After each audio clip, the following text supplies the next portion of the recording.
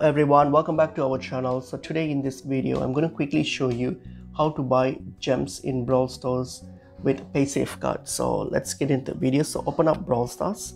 So once you've opened up brawl stars and you're on this menu page here so if you want to buy gems you can go to the shop click on shop and then select the uh, gems that you want to buy. So for example here i'll select this gems here so um, what I'm going to do, this will take me to the Google Play page. So now if I want to use my PaySafe card, so what I have to do is I have to add this in my payment method. So under the payment method, click on this arrow. So when you click on this arrow, you will go to this payment method option here. So here, what you're going to do, you're going to add your PaySafe card, your PaySafe MasterCard here. So to do that, hit on this add credit or debit card option. So you're going to use your PaySafe MasterCard. Only if you have the PaySafe MasterCard, you'll be able to do that. So all you have to do is simply plug in your PaySafe MasterCard details.